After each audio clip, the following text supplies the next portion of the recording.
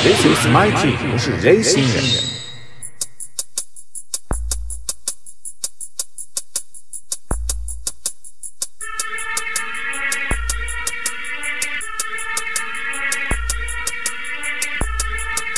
大千世界无奇不有。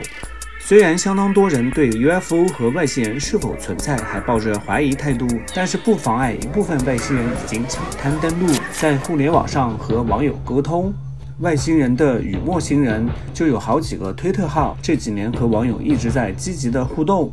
虽然与陌星人本身是否虚造和伪造的打个问号，但是他们确实传递了一些深奥的知识。此外，还有另外一支活跃的灰人团体在推特上活跃，他们自称来自泽塔双星系统，家乡是 P 星球，它是距地球约四十光年的双星泽塔系统，较远的恒星的第五颗行星。它也是一个海洋世界，略大于地球，大型淡水湖的比例高于咸水海洋。他们称在新墨西哥州阿尔伯克基东。部边缘的桑迪亚山下坐落着一个外星设施，被改造成一个古老的隧道系统，已经存在了很久。在过去的一万五千年里，它一直由 P 星球管理，是来自世界各地的外星人的信息中心。他们平均身高一米三，天生是夜行动物。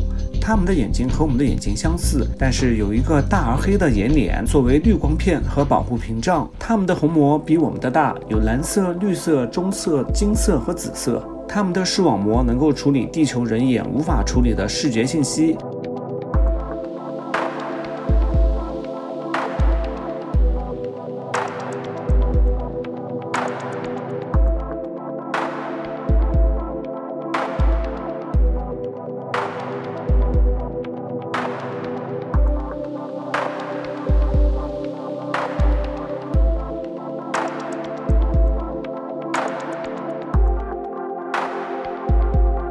他们的夜视能力很好，几乎是全彩色的。与他们的交流几乎百分之百是心灵感应，包括一些手势。当被问及为什么来这里时，他们的第一反应是这一切都是为了水，并解释百分之七十五的地球外来客不会来拜访我们。相反，他们来这里是因为这里有丰富的水，探索我们的海洋，并与生活在地表下的有知觉的民族交流。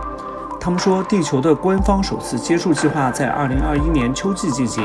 目前有三十二个国家希望参加这个公开的庆祝活动。他们告诉我们，巨大的气候变化正迅速降临到我们的身上。现在我们星球面临巨大的变化。所有这些星际间的国家都意识到，我们地球人的时间已经不剩多少了，需要一些帮助。他们希望在事情变得关键之前做自我介绍。为了促进这一进程，许多星际种族通过心灵感应进行交流。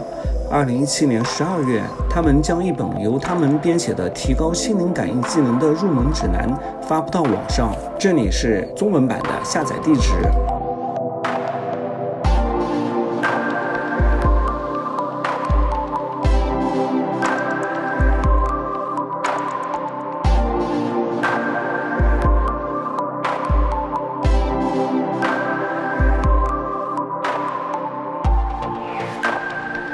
自二零一五年六月以来，他们一直在使用推特和网友互动。事实上，第一次接触可能已经提前发生了，至少是民间层面的。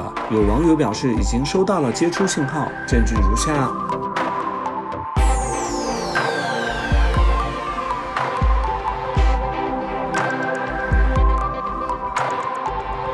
更有音频可以作证。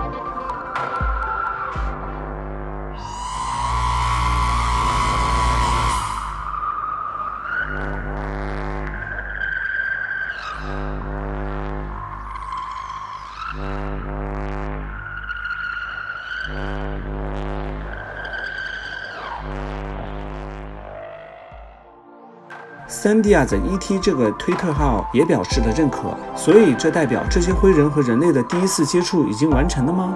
很多人认为外星人来地球是帮助人类的，而一部分人认为动机不明，甚至相当多是负面倾向的，比如屠牛的外星人，无论如何不是什么好的外星人。在人类的盟友书中，更提及外星干涉势力试图利用自然灾难介入地球以方便接管。总之，这是相当复杂的局面，更需要谨慎的研究和理解相关资讯。